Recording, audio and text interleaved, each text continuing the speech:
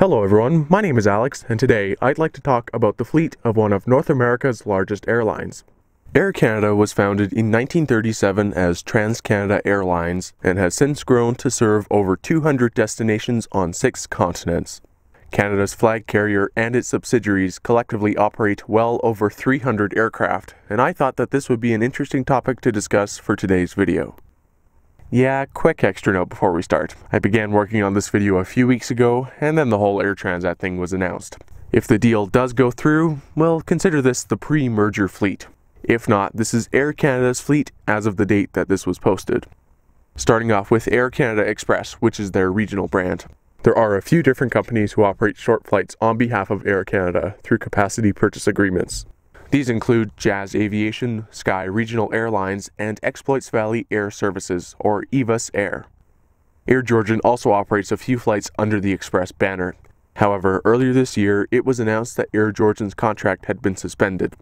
For now, Georgian continues to fly some of their CRJ aircraft. These will be transferred to Jazz Aviation eventually. The Air Canada Express fleet is made up of the following aircraft, flying with their respective operators.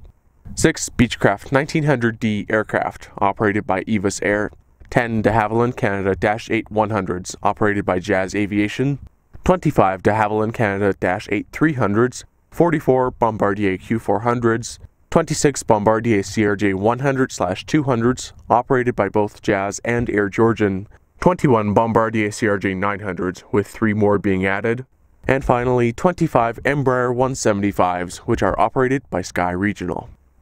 Moving on to Air Canada Rouge. Rouge was launched in December of 2012 as the leisure and low-cost subsidiary of Air Canada. Rouge primarily operates flights to sun destinations as well as some lower-yielding domestic and transatlantic routes. Air Canada Rouge operates the following aircraft. 22 Airbus A319-100s, 10 Airbus A321-200s, and 25 Boeing 767-300ERs. Rouge is in the process of adding three Airbus A320s to their fleet as well. These aircraft are coming from Mexican carrier Interjet. Over the next few months, Air Canada Rouge will also be adding more Airbus A321s from WOW Air of Iceland. Finally, the mainline Air Canada fleet.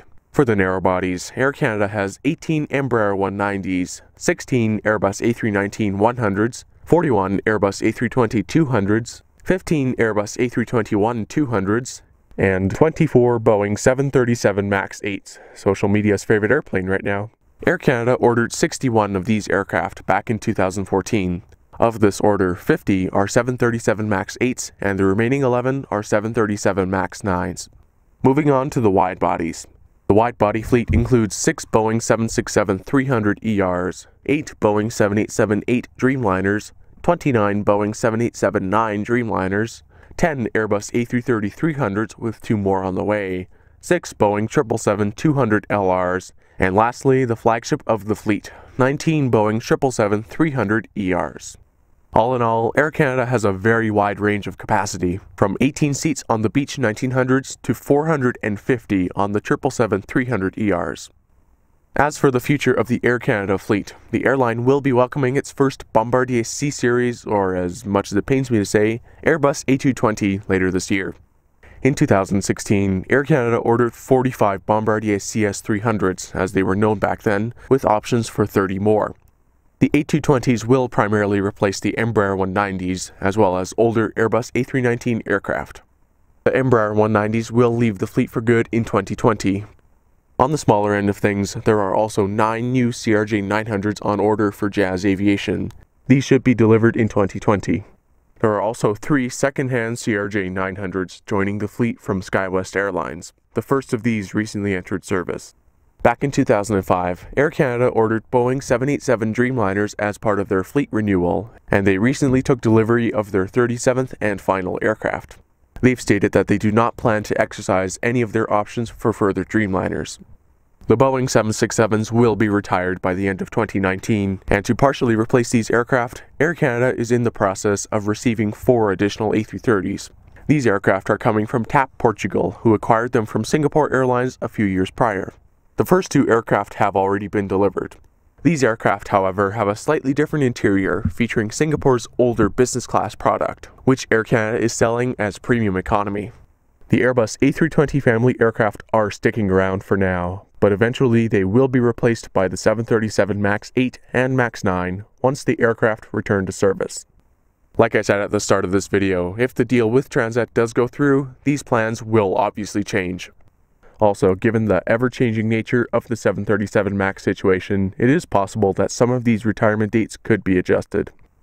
With a modern narrow-body fleet of Airbus A220s and 737 MAXs, combined with the wide-body fleet of A330s, 777s, and 787s, Air Canada and its subsidiaries should be well equipped for the decade ahead. A special thank you to my friend Brandon Siska for his help with some of the Rouge photos. I highly encourage you to check out his channel, which I'll link in the description below. Thank you very much for watching. Let me know in the comments below if you'd like to see more videos like this in the future. Be sure to leave a thumbs up if you enjoyed, subscribe if you're new to the channel, and as always, I'll see you in the next one.